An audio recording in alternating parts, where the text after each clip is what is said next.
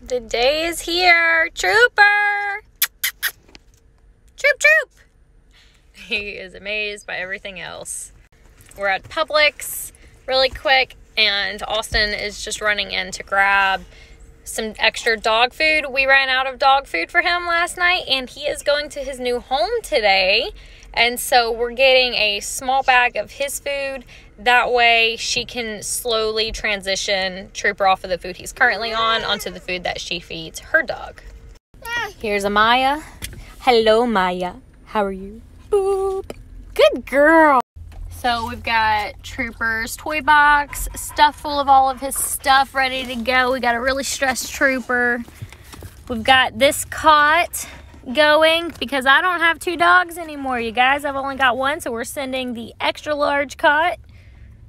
Come Troop Troopy. Hi Troopy Troop. You're going to your home. Yes, you are. You made it, buddy. You made it. You made it. You did it.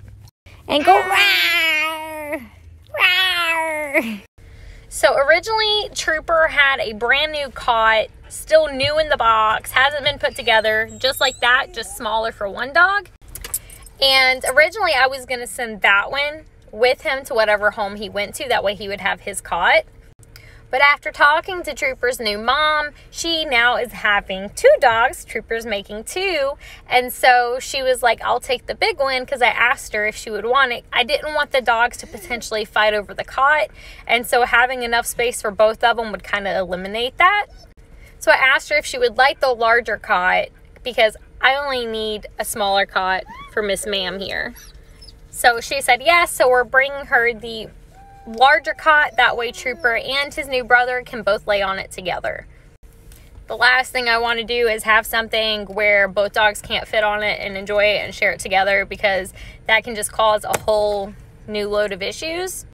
And Trooper and Maya already cuddle up on that, so Trooper is gonna be up for cuddling and sharing that. So he has three, four different toys, or is it five? One hard chew, two hard chew, Kong, green ball thing. All of his vet paperworks.